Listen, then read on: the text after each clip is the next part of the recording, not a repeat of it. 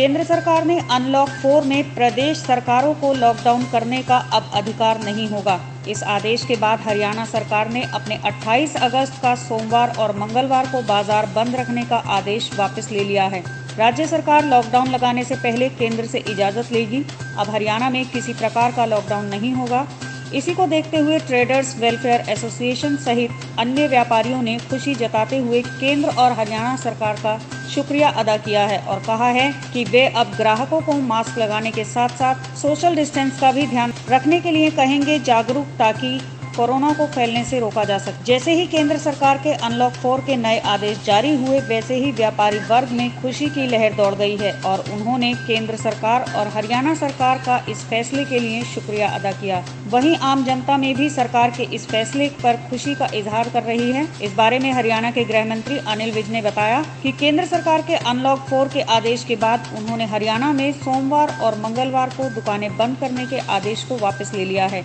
जो उन्होंने 28 अगस्त को जारी किया था। आदेश वापसी के बाद बाज़ार खुलने के समय के बारे में उन्होंने कहा कि यह फैसला हर जिला के जिला उपायुक्त पर छोड़ दिया गया है। और हम सरकार के इस फैसले का स्वागत करते हैं कि उन्होंने जो है रूटीन से बाज़ार को खोलने का जो मन बनाया है, इसमें हम सबका बहुत फ़ायदा होगा। व्यापारी पहले ही जो है वो बहुत परेशान है और काम ना होने की वजह से और लॉकडाउन की वजह से जो है वो हम लोग अपने व्यापार को सुचारू रूप से नहीं चला पा रहे। अब जो है वो हम लोगों को इसका फ़ायदा मिलेगा और हम रूटीन से काम कर सकेंगे। और ग्राहक जो एकदम पैनिक हो जाता है कि भाई कल बंद है, परसों बंद है, वो अब रूटीन से अपना आ रहा है और अपना सामान ले जा रहा है, जिससे हमारे पास जो है सोशल डिस्टेंसिंग से काम हो रहा है और लोग तरीके से आ रहे हैं और तरीके से सामान ले जा रहे हैं, कोई रख आज मैं प्रधान विकास सिंगला टेडल वेलफेयर सोसाइटी अम्बाला की तरफ़ से केंद्र सरकार और माननीय हमारे मतलब गृह मंत्री अनिल विज जी का तहे दिल से बहुत ज़्यादा आभारी हैं कि उन्होंने हमें व्यापार को सुचारू रूप से चलाने के लिए अनलोड फोर का एक तोहफा दिया है। और हम सभी व्यापारी भाई, उनको एक विश्वास भी दिलाना चाहते हैं कि हम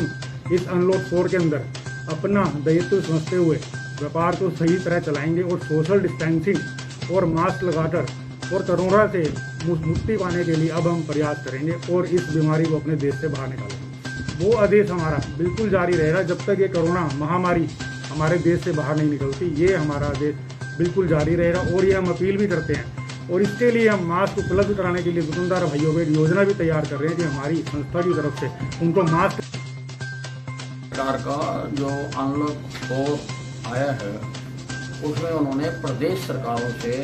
अपने स्तर पर लॉकडाउन करने का अधिकार को वापस ले लिया कि प्रदेश सरकारें खुद नहीं कर सकती इसलिए हमने 28 तारीख का जो हमारा आदेश था कि हर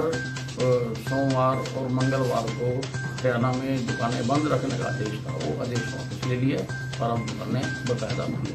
हमें का डिप्टी कमिश्नर लेवल पर, उसका मुझे